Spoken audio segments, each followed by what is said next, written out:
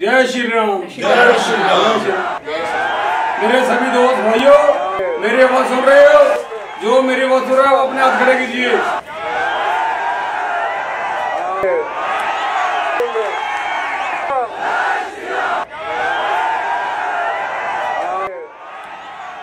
जय श्री राम। जय श्री राम। दोस्तों सभी हिंदुओं का सपना था और आज वो दिन आ गया।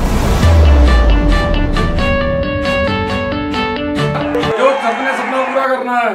चलो दोस्तों एक होकर मेरे साथ हमारे जय श्री राम जय श्री राम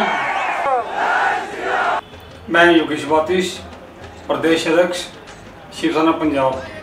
आज मैं उन मुल्लों को उन गद्दारों को आज हम जैसे गद्दारों को एक बात चेतावनी देना चाहता हूँ। वो कहते हैं जम्मू कश्मीर में जितने भी भारतीय सैनिक हैं वो लड़कियों से रेप करते हैं। मैं आज़म खान जैसे गद्दारों और जम्मू कश्मीर के गद्दारों को कहना चाहता हूँ, ओ बेवकूफ़ो अगर वो जम्मू कश्मीर में आर्मी वाले रेप करते तो वहाँ कुत्ते नहीं, शेर पैदा होते। पाकिस्तान में जितने भी गद्दार हैं, आतंकवादी हैं, उससे ज़्यादा मेरे भारत में ऐसे गद्दार बैठे हैं, जो यहाँ पे हम हिंदू, हिंदुस्तान खाते हैं, हिंदुस्तान का पीते हैं। लेकिन साले जय जयकार करते हैं पाकिस्तान की।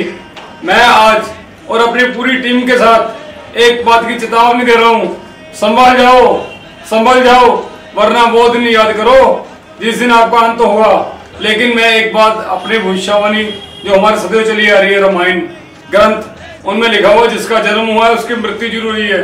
भारत का जन्म कब हुआ, किसी को मालूम नहीं। पाकिस्तान का जन्म कब हुआ, सभी को मालूम है। और जिसका जन्म हुआ, उसकी मृत्यु निश्चित है। कहीं ऐसा ना हो कि हमारा हिंदुस्तान जल्द ही कश्मीर छोड़ पाकिस्तान पर भी कब्जा कर ले। उससे पहले मैं इन्हें कहता हूँ, होश में आ जाओ, वरना और मस्त आओ। अगर हमें सताया होता तो कब के ये हालात सुधर जाते?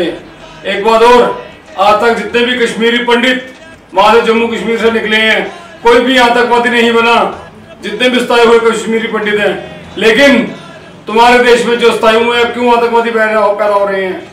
इसलिए मैं इतनी बात कहता हूँ, विराम देता हूँ, और चेतावनी दो, संभल जाओ, अच्छे रहोगे, वरना अंत। गलत होगा और फिर दोष हमें मत देना। जय श्री राम। जय श्री राम।